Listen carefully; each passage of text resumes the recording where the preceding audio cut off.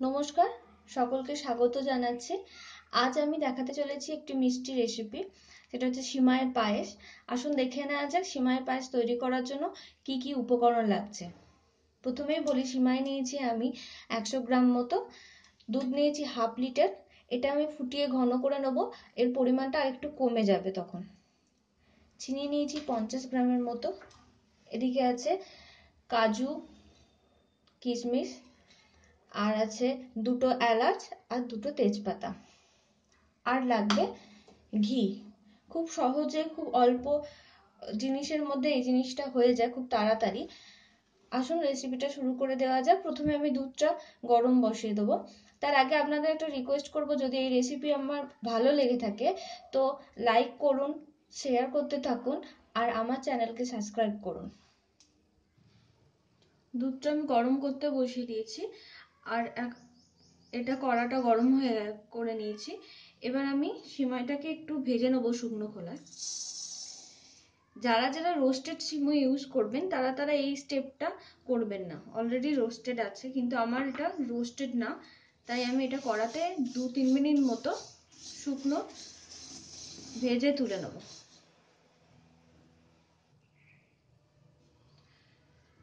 সিমাটা roasted হয়ে গেছে, আমি তুলে নিয়েছি একটা পাত্রে। মিডিয়াম আছে, দুই থেকে তিন মিনিট মতো ভালোভাবে নেড়ে চেড়ে নিলে ওটা রোস্ট হয়ে যাবে। এবার আমি এক চা চামচ ঘি দিচ্ছি কড়ায়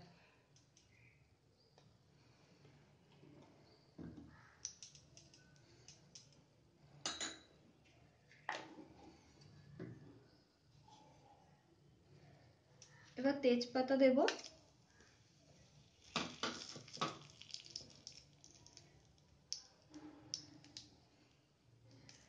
এলাচটা ফাটিয়ে দিয়ে দেবো।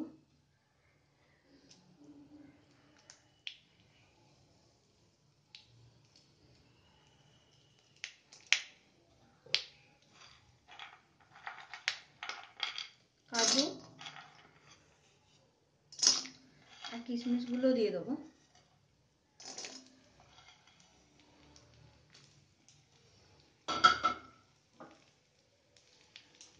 দিয়ে অল্প নেড়ে নেব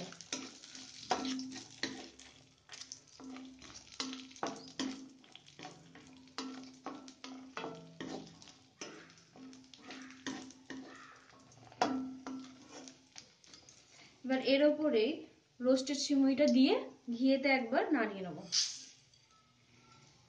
আপনারা যদি আলাদা করে দিতে চান, যখন রোস্ট করবেন তখনই দিয়ে দিতে পারেন ঘিটা। কিন্তু আমি শেষে ঘিয়ে মাখিয়ে নিচ্ছি সিমাইটা।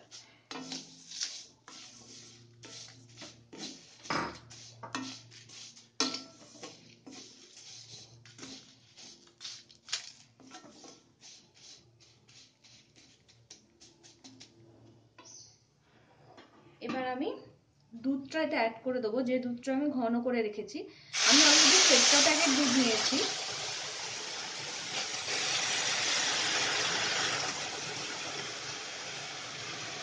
একটু দুধ রাখছি যদি পরে লাগে, তো আমি দেবো।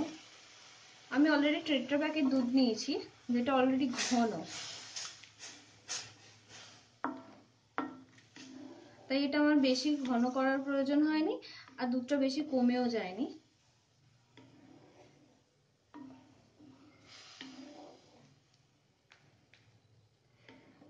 এবার সিমাইটা ফুটতে শুরু করলে এটাকে নাড়াতে থাকব।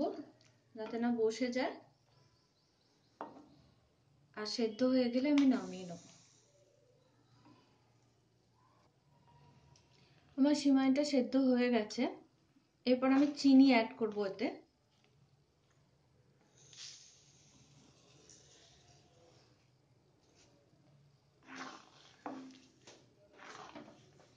আর তার সাথে যেটুকু দুধ একটু মাছিয়ে রেখেছিলাম সেটাতে দিয়ে দেবো, কারণ এটা যথেষ্ট ঘন হয়ে গেছে। দুধের ব্যাপারে আমি আবার বলব যে আমি ট্রেট্রা প্যাকের দুধ ইউজ করছি যেটা খুব ঘন। ফুটিয়ে নিলেই হয়। যারা এমনি প্যাকেট দুধ বা বাড়ির যে গরুর দুধ ইউজ করবেন, তারা কিন্তু দুধের পরিমাণটা বাড়িয়ে নেবেন। দুধটা আমি অ্যাড করে দেবো বাকি দুধটা।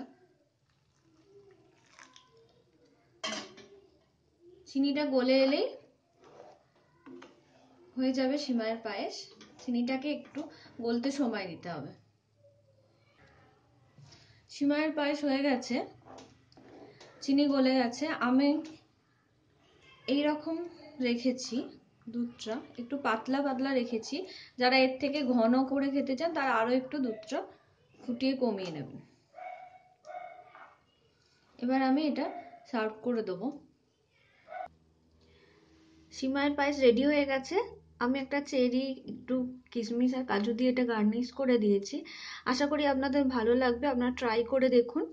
পুরো রান্নাটাই মিডিয়াম আঁচে করবেন। আঁচ বাড়িয়ে দেবেন না, তাহলে তলায় দুধ বসে যেতে পারে। যদি আমার রেসিপি ভালো লেগে থাকে, তাহলে প্রচুর প্রচুর লাইক দিন শেয়ার করতে থাকুন, আর অবশ্যই আমার চ্যানেল সাবস্ক্রাইব করুন। নমস্কার।